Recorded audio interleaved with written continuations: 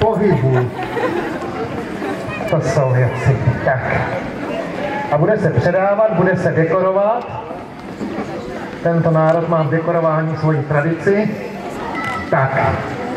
Kdo si převezme z Rabuší pamětní list? No vedoucí. Srdéčko, to musíme dát někomu pěknému. Tak a chudák ho nic nedostal. Dáme mu tašku. Tomu dáme pusu a tím pádem je vyřešená Rabuša. My Rabuše samozřejmě moc děkujeme a pevně věříme, že příští rok se tady s těma setkáme opět. A teď, teď Perky von Vláden a tady, přátelé, dojde možná i k přetlaku. Tak. Paní vedoucí dostane pamětní list. Bohužel jsme ho nestihli zarámovat. Druhá perechta kytičku. Třetí perechta kašličku. Čtvrtá hrneček a srdéčko zlomili nám všem. Tak, dámy a pánové, Perky von Vláden, Mladoňov a i v tomto případě pevně věříme, že je nevidíme naposledy. Moc děkujem, moc děkujem.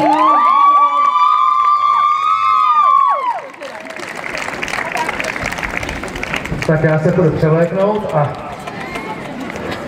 už se sem, už se sem valí další soubor, už se sem valí další soubor, to nám to jde, to nám to jde, možná to stihneme dřív, než přijedou s vodou.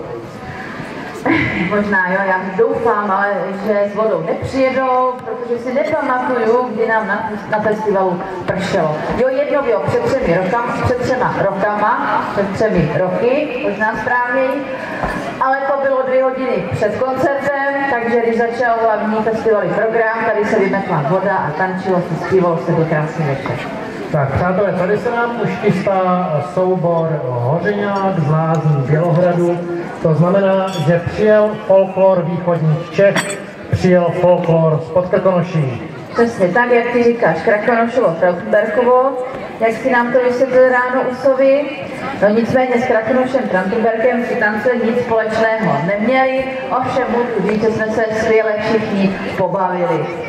Ano, myslím si, že Hořeňák se letos zapsal do našich srdcí obzvláště a jsme opět eh, velmi rádi, že pořadatelé festivalu měli šťastnou ruku při výběru tohoto souboru. Nám se jejich eh, hudba eh, velmi líbí a myslím si, že všude tam letos přijeli, tak sklízeli jen a jen samou chválu.